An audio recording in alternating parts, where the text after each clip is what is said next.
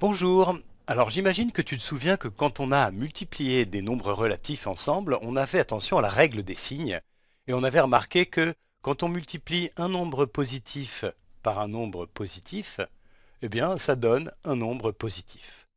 Ça c'était une première chose. Et puis on avait remarqué aussi que si on multipliait deux nombres négatifs, donc un nombre négatif multiplié par un nombre négatif, eh bien ça donnait aussi un nombre positif. Voilà, ça c'était une première chose. Quand on multiplie deux nombres de même signe, eh bien le résultat est toujours positif. Et puis évidemment, on avait étudié le cas aussi où on multipliait deux nombres qui n'avaient pas le même signe. Donc par exemple, un nombre positif multiplié par un nombre négatif, eh bien ça, on avait remarqué que ça donnait un nombre négatif. Et puis, aussi dans l'autre sens, hein, évidemment, c'est la même chose. Un nombre négatif multiplié par un nombre positif, eh bien ça donne un nombre négatif. On avait vu aussi que cette règle-là vaut exactement de la même manière quand on fait des divisions. Donc quand on divise deux nombres de même signe, le résultat est positif. Et quand on divise deux nombres de signes différents, le résultat va être négatif. Hein. Ces règles des signes-là valent aussi bien pour la multiplication que pour la division. Alors maintenant, ce qui peut arriver, c'est qu'on doit multiplier plusieurs nombres euh, relatifs entre eux. Alors qu'est-ce qui va se passer dans ce cas-là? C'est l'objectif de cette vidéo, d'étudier euh, ce qui se passe quand on multiplie ensemble plusieurs nombres relatifs. Alors, on va étudier ça. Donc, imaginons qu'on doive multiplier trois nombres. On va commencer par ça. Trois nombres relatifs entre eux. Donc, euh, par exemple, le nombre a multiplié, là j'utilise le point pour noter une multiplication multiplié par le nombre b, multiplié par un troisième nombre que je vais appeler c. Alors évidemment, le cas le plus simple, c'est si ces trois nombres-là sont tous les trois positifs. À ce moment-là, évidemment, a fois b, ça va être positif, multiplié par c qui est positif aussi. Le produit, bien sûr, va être positif aussi. Donc ça, c'est le cas le plus évident. Maintenant, on peut se demander ce qui se passe si, par exemple, ils étaient tous les trois négatifs. Donc si a, je vais le noter comme ça, a, B et C étaient tous les trois négatifs. Négatif, ça veut dire plus petit que 0. Je peux donc l'indiquer comme ça. Hein. Donc s'ils sont tous les trois plus petits que 0, qu'est-ce qui se passe? Donc on va étudier ça. Alors le nombre A, il est négatif, je vais le noter comme ça. Le nombre B, il est négatif aussi, et le nombre C, il est négatif aussi. Ils sont tous les trois négatifs. Alors ici, je peux faire cette opération-là dans l'ordre que je veux. Je peux commencer à faire ça, par exemple, A fois B. Alors c'est un produit de deux nombres euh, négatifs tous les deux, donc euh, ça donne un nombre positif. Ce nombre-là est positif. Et ensuite, je vais multiplier, une fois que j'ai fait cette opération-là, je vais multiplier le résultat par un nombre négatif. Donc ici, je vais multiplier un nombre positif par un nombre négatif, et la règle des signes qu'on a rappelée ici, elle me dit que le produit va être négatif. Donc si on multiplie ensemble trois nombres négatifs, eh bien le résultat est négatif aussi, je l'indique comme ça. On peut euh, étudier d'autres cas, alors je vais enlever tout ça. Imaginons par exemple que le nombre A est négatif, celui-là est négatif, celui-ci est positif, et puis celui-ci est positif aussi. Alors, on va faire comme tout à l'heure. Cette multiplication-là, je peux la faire dans l'ordre que je veux. Je peux commencer par faire A fois B. Et A fois B, ici, c'est un produit de deux nombres de signes opposés, de signes contraires. Donc, le produit va être négatif. Voilà. Et puis ensuite, je vais multiplier ça par un, nombre C qui est positif, lui. Donc, je vais avoir une multiplication d'un nombre négatif par un nombre positif, le résultat va être encore négatif.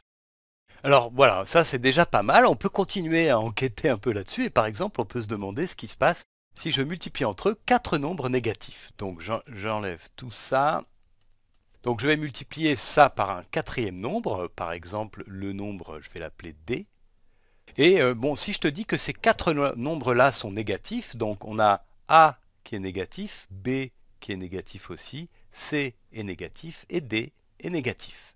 Alors je vais faire comme d'habitude, hein, je vais commencer par faire ce produit-là, A fois B. Le résultat, c'est négatif fois négatif, donc c'est un nombre positif. Voilà. Ensuite, je vais faire le résultat de cette multiplication, je vais multiplier par C, ici. Voilà. Alors là, j'ai un produit d'un nombre positif par un nombre négatif. Le résultat va être négatif. Et puis enfin, je vais multiplier donc, le résultat de cette multiplication-là, de ces trois premiers nombres, par le nombre d. Donc voilà, je vais faire cette multiplication ici. Et là, ça revient à faire la multiplication d'un nombre négatif par un autre nombre d qui est négatif aussi. Donc un nombre négatif fois un nombre négatif, ça donne un nombre positif cette fois-ci. Alors peut-être que tu vois se dégager une règle qui va être très utile pour les multiplications ou les divisions euh, de nombres relatifs. Je te rappelle que tout ce que je dis vaut aussi bien pour les multiplications, comme je l'ai noté ici, ou pour les divisions, c'est-à-dire que ici je pourrais très bien remplacer ce signe-là par un, signe de division. Hein. En tout cas, ce que je disais, c'est que on peut remarquer que si on prend un nombre pair de nombres négatifs, de nombres négatifs, alors je vais les appeler les facteurs négatifs. Hein. Les facteurs, ce sont les termes d'une multiplication. Donc là, j'ai quatre termes, donc j'ai quatre facteurs. Et si je me place dans le cas où j'ai un nombre pair de facteurs qui sont négatifs, un nombre pair de facteurs qui sont négatifs, c'est le cas que j'ai ici, eh bien le résultat va être positif. Résultat sera positif. C'est ce qu'on a vu ici, on a quatre facteurs négatifs, 4 c'est un nombre pair, le résultat est positif.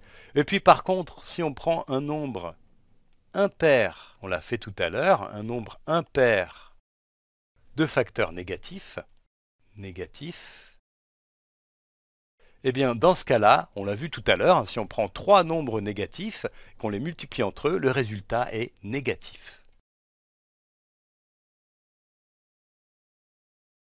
Voilà, donc ça c'est la règle euh, qu'il faut retenir quand tu dois multiplier ou diviser plusieurs nombres relatifs entre eux. Et en fait, tu vois, c'est une généralisation de la règle des signes qu'on a réénoncé tout à l'heure. Hein. Dans ce cas-là, j'ai bah, j'ai que des nombres positifs, donc j'ai zéro euh, nombre négatif. Zéro est un nombre pair, donc effectivement le résultat est positif. Là j'ai deux nombres négatifs que je multiplie entre eux. Euh, le 2 est un nombre pair, donc le résultat est positif. Là tu vois j'ai un seul nombre négatif dans les deux cas qui sont ici. Et 1 est un nombre impair, donc le résultat est négatif. Alors si tu n'as pas encore vu les puissances et les exposants, tu peux t'arrêter là pour cette vidéo. Mais si ce n'est pas le cas, si tu connais déjà les puissances et les exposants, on peut euh, regarder ce qui se passe, c'est très intéressant. Quand on élève un nombre négatif à une certaine puissance, donc par exemple, là je vais prendre un nombre A, un nombre A qui est négatif, donc voilà. Et en fait, je vais m'intéresser au signe de A élevé à la puissance, disons, 100 donc en fait, l'exposant qui est là m'indique qu'il va y avoir 101 facteurs qui sont tous égaux à A. Et donc je vais avoir 101 facteurs qui sont négatifs, puisque A est négatif. Mais 101, c'est un nombre impair. Donc ce nombre-là, en tout cas, il est négatif.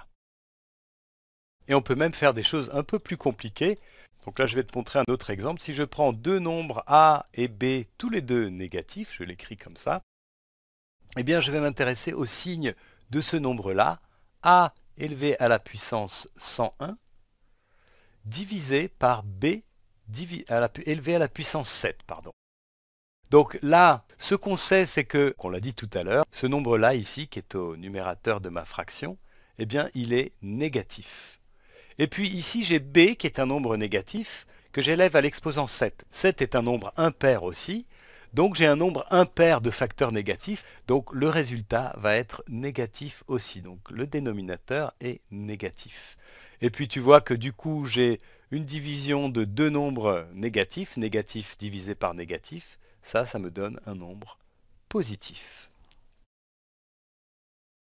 Voilà, ça c'était une vidéo d'introduction. Évidemment, tu pourras trouver sur la Khan Academy plein d'autres vidéos où on va s'entraîner à utiliser euh, ces, ces nouvelles règles des signes pour des multiplications ou des divisions de plusieurs nombres relatifs entre eux.